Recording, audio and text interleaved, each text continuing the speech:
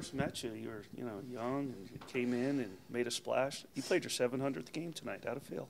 Yeah, pretty crazy, huh? Uh, it's been a it's been a long journey, uh, especially with the Knights, and um, I'm happy I got to play uh, 700, my 700th game in Vegas. So.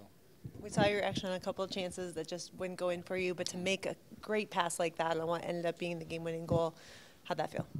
Felt good because, like you said, uh, I had some chances and I couldn't bury, so bit frustrating. But uh, you know, like Ted Lasso says, just be a goldfish and you know look forward to the next shift. The, the pass was incredible, but can you talk about when you received it?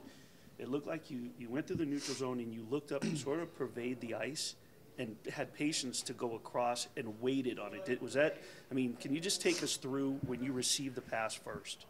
Yeah, um, I had a lot of ice to skate into. Um, then I had Holtzy on the right side. He kind of, you know, um, he drove the net and kind of opened up that seam too. And I knew um, how he was on my left side, and um, you know, hoping he was there and he knew who was. So good play. I know you take a lot of pride in your checking game and being that checking line, but especially against the top team in the NHL. I mean, how proud are you in the job your line was able to do tonight and shutting that top line down for the most part? Uh, yeah, um, I think we did a pretty good job.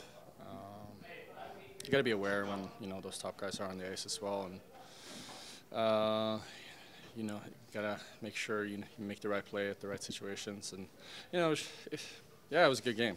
We uh, felt felt good. I think our whole line did a pretty good job. What was the last? What's the last week been like for you? Obviously, birth of your second child. You're on the East Coast. You fly back to Vegas. Then you go to Colorado. Come back tonight. Just the range of emotions and just are you kind of running on fumes? uh, no. I mean, uh, I think I get recharged, and I think all the all the boys does as well when we get to spend time with with family, and uh, you know I got some extra time with family since I went home. So um, I don't know. I feel I feel recharged. I've, it's great to be home. So um, and, and, be with your kids and, and loved ones. So I, I, feel pretty good. Yeah. No yeah. fumes. On, on, yeah. on, on, earlier in the game, you almost, or Brett almost found you on a very similar play that you found him. Was that something you guys kind of talked about on the bench, knowing that it might be there later in the game? Um, was it on the turnover and he was I think so. Yeah, it was in the first period, and I think it was yeah. Dylan Coghlan made a really good play with the stick. Yeah. Um, no, I think that's just in the moment kind of thing.